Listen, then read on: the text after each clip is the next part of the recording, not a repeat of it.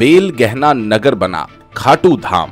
आज बेल गहना के गंगानगर में हैप्पी गुप्ता के द्वारा एक शाम खाटू वाले के नाम के भजन संध्या का आयोजन किया गया था। इसी की शुरुआत बेलगहना के ठाकुर देव मंदिर से निशान यात्रा प्रारंभ हुई। इस यात्रा में लगभग एक हज़ार लोग निशान लेकर जैसे ही चलने लगे, वैसे ही बेलगहना के लोगों ने ये कहा कि आज बेलगहना खाटू धाम नज़र आ रहा है।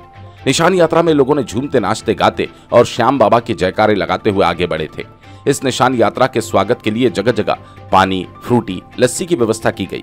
जैसे ही निशान यात्रा भजन कार्यक्रम स्थल पर पहुँची और भजन गाने वालों ने श्याम प्रेमियों का दिल जीत लिया, हेपी गुप्ता ने बताया, मैं सात सालों से खाटू जाने की इच्छा कर रहा था, परंतु किसी न किसी कारणवश मैं जा नहीं पा रहा था।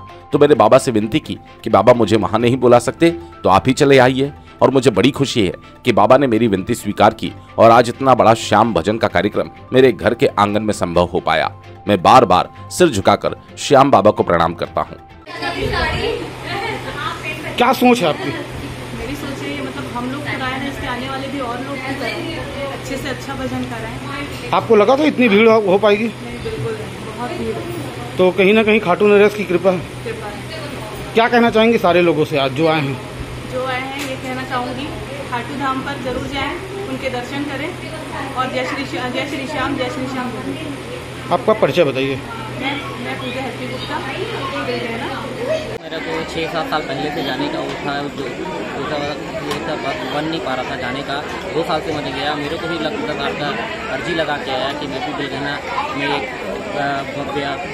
कीर्तन करवा करवाऊँ करके बाबा का दर्शन करने आऊँ इसीलिए आज एक बिलगना खाटू नगरी को आपका परिचय बताओ। एस गुप्ता श्याम भक्त ऐसा लग रहा था खाटू में हो। ऐसे लग रहा है मैं खाटू में जा रही हूँ। ये बेलगहना के लिए गौरव की बात होगी कि आज यहाँ श्याम भजन हो रहा है। बहुत बहुत गौरव की बात है कि आज ऐसे लग रहा है कि खाटू में हम लोग हैं। इतना यात्रा करने के बाद आपके चेहरे में पसीना तक नहीं है तो कहीं श्याम बाबा की कृपा तो नहीं है? उनकी कृपा है। उनकी है जो कुछ चल रहा है सब। आपका नाम बताइए। ममता अग्रवाल। जय तो जय श्री श्याम सबको। मुझे बहुत अच्छा लगा कि आज इतने मतलब में बिलगहना गाँव में आज इतने अच्छे से खाटू श्याम भजन होगा और शान यात्रा निकली है। ऐसा लगा मुझे जैसे मैं खाटू श्याम में हूँ। और मुझे बहुत अच्छा लग रहा है कि भगवान के सामने आज मैं बहुत इतना मन खुश हो रहा है कि मैं आगे कुछ बोलना बिलासपुर से आई अब बेलगहना में ऐसा लग रहा था आप खाटू धाम में है? बिल्कुल मैं तो ऐसा लग रहा है कि मैं खाटू धाम में हूँ और भगवान के सामने हूँ। के बावजूद? मैं तो भगवान को इतना मानती हूँ ना कि मैं भगवान क्या?